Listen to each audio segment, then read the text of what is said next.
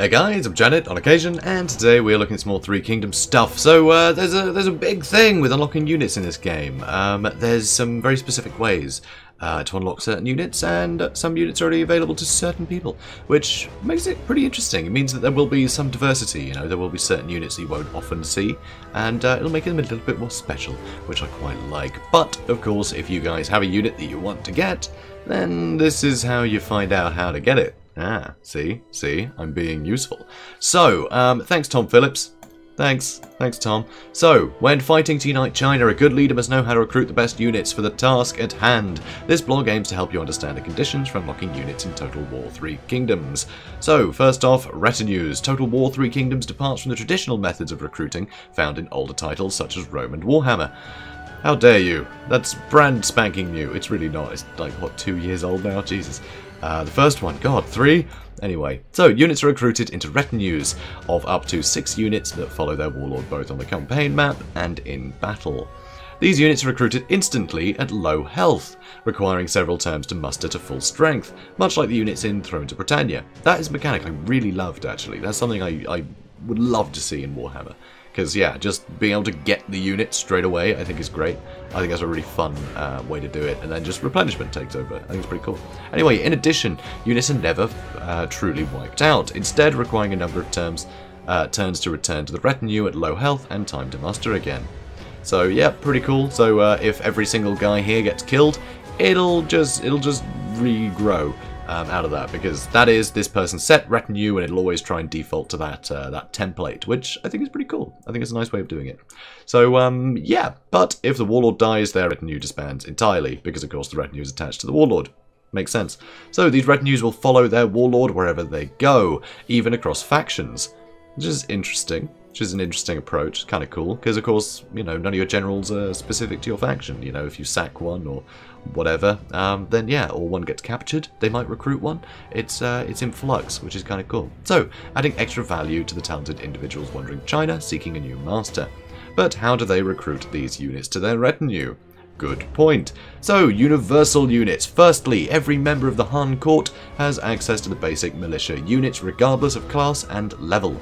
These are the bread and butter of your forces at the start of the campaign, and are still valuable in a pinch later on. So for that, it's it's the militia units. You know, the Ji militia, the Archer militia, the Saber militia, the Mounted Lancer militia, and the Mounted Saber militia, which is actually a nice range of stuff that just anyone can recruit from straight away because you know you've got your anti-large you got your shock cav you got your melee cav you got your archers and you got some swordsmen so it's a good mix which uh, I really appreciate just being able to go right here's a well-rounded army from the beginning of the game because that can often be a real pain in other titles where you just don't have access to a well-rounded army early on um, I mean, look at every Empire campaign in Warhammer where you just have an army almost entirely of swordsmen at the start of the game, and no cavalry or archers to speak of.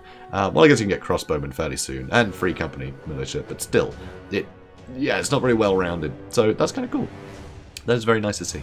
So, class-specific units. These characters can also recruit more competent troops depending on their class and rank. For example, a Vanguard can recruit all the previously available militias as well as the Raider cavalry unit.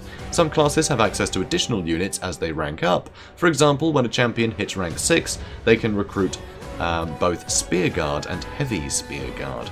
So, let's take a look. Right, so available to the class of Strategist, you can get the Trebuchet, you can get a freaking trebuchet. How cool is that? But only as the strategist. Which uh, I I think this is a nice way to do recruitment. Just generally, it makes it kind of means you can't just rely on all of the all of the um, sort of uh, generals that are going to be best at dueling. You know, there's reason to get a diverse range of uh, characters and retinues, which is really cool. So trebuchet, crossbowman, and heavy crossbowman once at rank six. For the champion, they can get spear guard and heavy spear guard. For the Commander, Vanguard, and Sentinel, Commander can get uh, Xi'an Sword Guard Cavalry, the Vanguard can get Raider Cavalry, and the Sentinel can get uh, Xi'an Sword Guard. And the Commander can get... Uh, hang on. That's Jian Sword Guard Cavalry, and that's... Jian Sword Guard Cavalry. Is it me is this the same thing twice? This feels like the same thing twice to me. Okay, moving on. Okay, that's that. So, um, yeah, so that's interesting. The classes do uh, differentiate a bit. I really like that. That makes it interesting. And uh, then there's faction-specific units. So there is some variety in factions, which is something that a lot of people were worried about. They'd be like, oh, they're all just Chinese things. It's like, yeah, there's still still a range of stuff, which is cool. So some units can also be recruited into the retinue of a character serving a specific faction leader. For example, generals under Cao Cao will be able to recruit Tiger and Leopard Cavalry once they hit rank 3, and hev the heavy variant at rank 6. So, let's have a look here. Dong Zhuo, he can get the uh, uh, Ziliang, Ziliang, Xiliang, Xi, uh, Xi, Xiliang, Xiliang, Xiliang Cavalry. Still working on my Chinese guys, still working on it. Um, so, Xiliang Cavalry and the Heavy Xiliang Cavalry. Also, Cao Cao can get the Tiger and Leopard Cavalry and the Heavy Tiger and Leopard Cavalry, which uh, look pretty damn cool.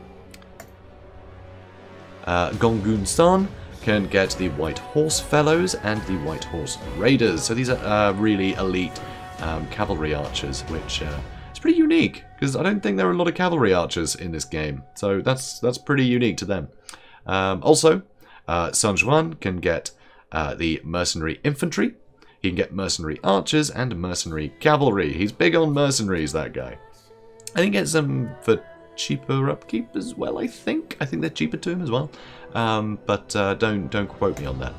Um, also, uh, Ma Teng can get uh, Qiang Raiders, uh, sorry, Qiang Marauders, Qiang Hunters, and, yeah, and Qiang Raiders, my bad. So, yeah, bit more Archer Cav, which is interesting to see, but look like a hybrid Cav. They've got the glaives there as well. So they might be good shot Cav as well as Archers, which is uh, definitely interesting. And then uh, Zhang Yan can get the Black Mountain Marauders, the Black Mountain Outlaws, and the Black Mountain Hunters. So again, a good range of stuff for each of them. You know, although they're themed, it's all Black Mountain stuff. You've got your Axe, uh, two you know, axes here, the dual axe uh, unit, so good damage dealers. You got your anti-large here, and supposedly elite archers, but they do have an axe as well. That is being shown off a bit, so maybe they're quite good in melee too, who knows. Uh, but they are elite, so, you know, Kong Rong here gets the Fury of Beihai, and uh, the Thunder of Jian An, which, again, pretty damn cool. Gets some crossbowmen, unique to him. And Liu Biao gets the infantry of Jing and the Imperial Defenders. So just very, very decent spear units. Very sturdy. Uh, Yuan Shao gets the Warriors of Yi and the Defenders of Hebei. Of He Hebei? Hebei? Hebei. I think it's Hebei. Hebei? Anyway, like I said, guys, still working on the Chinese. So, uh, yeah, some good uh, polearm units here. Interesting.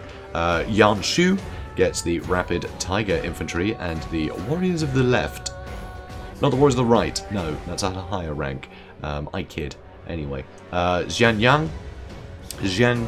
Jian Jiang. Jiang Jiang. Something like that. Um, hidden Axes. So Hidden Axes and the Fists of the Bandit Queen. So pretty cool. You can see they do have bows as well. So uh, bow, axe, caval uh, bow, axe units, which is pretty cool. Uh, they don't shoot their axes, you know, they, they're archers. They're hybrid infantry is what I'm getting at.